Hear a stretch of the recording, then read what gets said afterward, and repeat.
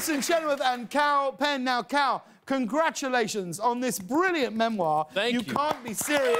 Thank you, thank you. The reviews of the book are absolutely phenomenal. You write so well in the book, and in, in the book you, you you tell a tale about about your life, about your your fascinating career. You've had such an amazing, rich, and full life. What made you want to write this now?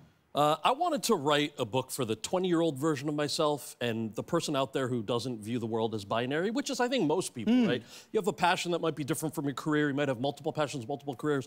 Um, and I just love what we do so much as, as artists. And then, uh, you know, everyone's kind of dialed into public service, whatever their political views are. And I just thought things have changed so wonderfully in the last 20 years. I know we focus a lot on the negative, we focus on what divides us, but why not focus on the special thing, that it that makes us who we are in a beautiful way and brings us together and celebrate the things that we should celebrate. And so I thought maybe it was time to write that, that story. Yes. It's so great. It's so brilliant. And Can't wait to read it. I know that you're, you're, you're very close to your family, you're very close to your parents. What do, what do they think of the book? What do they make of you writing this? I was wondering if you were going to ask me about my parents. All right, look. So, uh, as heartfelt as the sentiment that I just said was, and it's all true, I do believe that, and that's why I wrote the book. It's also, I wanted it to be funny, and my sense of humor, as you know, it can be sophomoric. So, there's a section in that book. My, to answer your question, my parents only had one note. They were fine with any story I wanted to tell, any of the R rated jokes, except for one. The only note they had on the book, there's a section in the book where I talk about my cousin. And this is a cousin who I, he and I have, have had this, this like prank competition for at least 10, 15 years. And we try to one up each other. And in the book, I write about how he caught gonorrhea during the pandemic.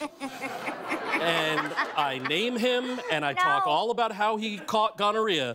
And then in a tiny little footnote, I write about how he didn't actually catch gonorrhea during the pandemic.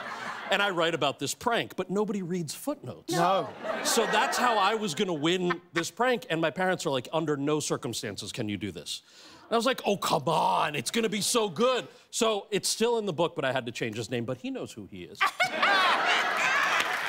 can't wait to read it. It's such a great read. Uh, Kristin, you're performing at the National Christmas Tree Lighting Ceremony, which airs on CBS this Sunday. Yes. Huge night.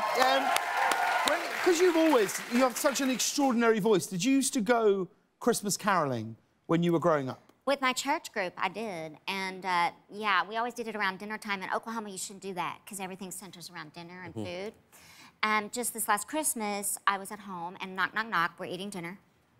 And a group of 13, 14 year old girls, you know, we open the door and they're like, Silent Night. And if you know that song, hmm. there's like 45 verses. Hmm.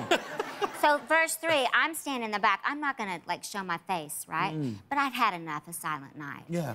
And so I just decided to destroy their dreams. Oh. And I pop out and I go, hi.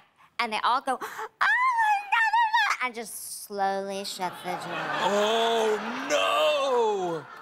I'm terrible. I'm never being invited back, am I? No, always you're invited back. Okay. I don't think they'll invite you to anything. No. Ever. You're the kind of friend we all need. Yeah.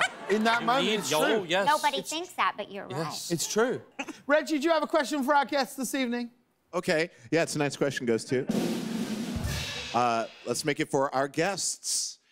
Uh, so theoretically, if you took, let's say, a medium or a strong, high, medium dose of mushrooms, uh, would you prefer to be in a cabin with a few friends uh, by a river uh, or in a city wandering around? A cabin. Is there any question? City wandering around. No. I call a Monday. Diverse answers and also correct absolutely correct. Please stand, Kristin Chenoweth. Kal Penn, stick around. Kristin is going to perform when we come back. Don't go anywhere.